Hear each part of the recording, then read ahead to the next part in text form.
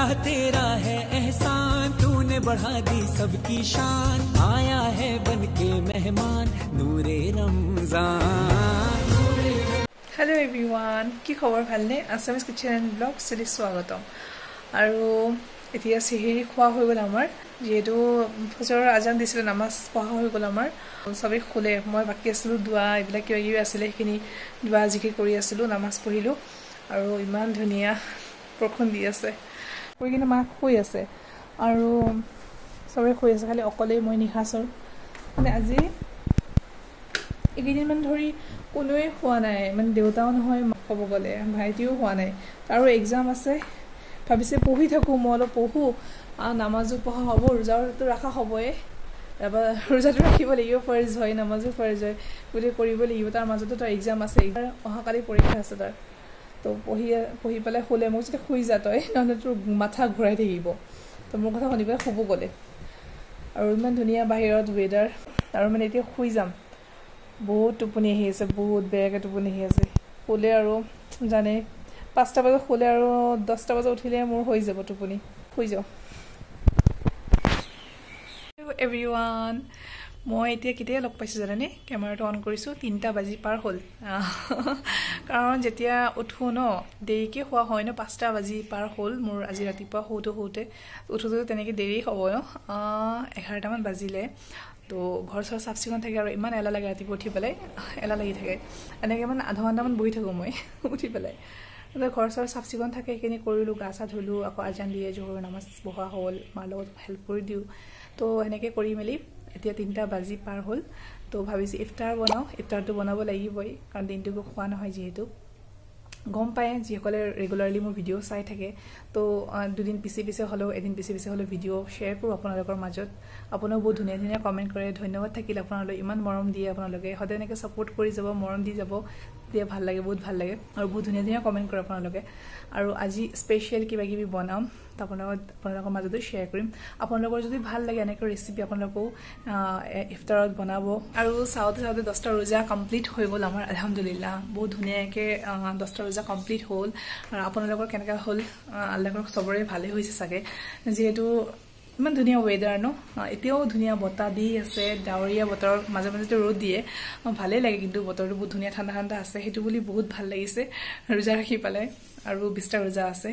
এনেকৈ বিছটা ৰোজা কমপ্লিট হৈ যাব পিছত আহিব ঈদ। যদি আপোনালোকৰ মোৰ ৰেচিপিবিলাক ভাল লাগে ইফতাৰৰ ৰেচিপিবিলাক ভাল লাগে আপোনালোকে শ্বেয়াৰ কৰিবচোন। যিসকল ৰোজা নাৰাখে আপোনালোকে ব্ৰেকফাষ্ট টাইমতো বনাব পাৰে ট্ৰাই কৰিব বহুত ধুনীয়া হয়।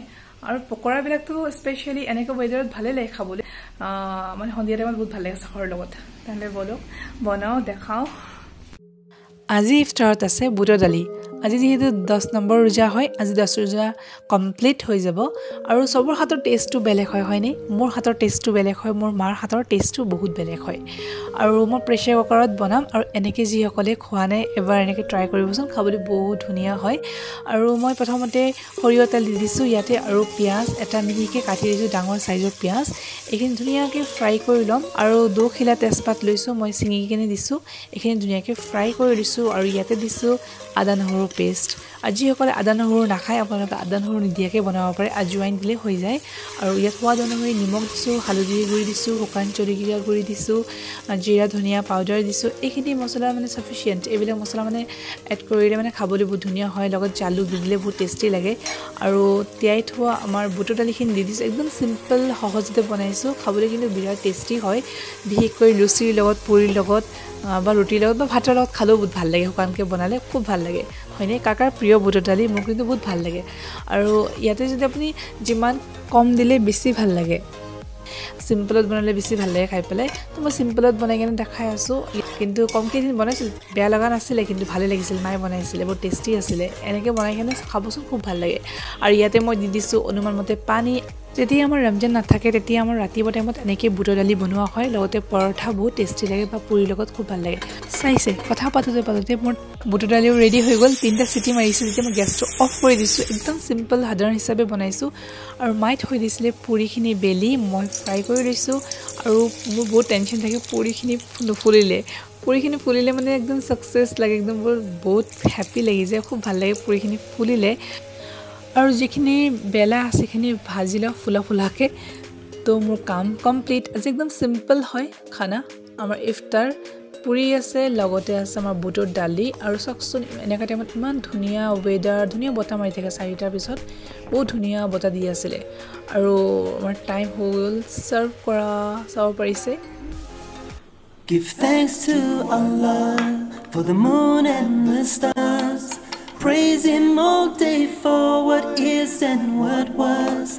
Take hold of your Iman, don't give in to Shaitan. Oh, you who believe, please give thanks to Allah. Allahu Ghafoor, Allahu Rahim, Allahu Yuhibbul Muhsinin.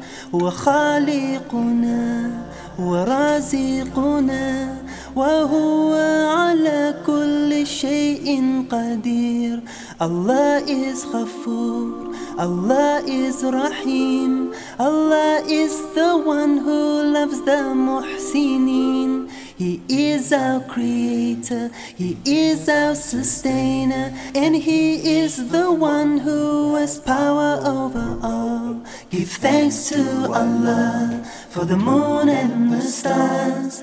praising more.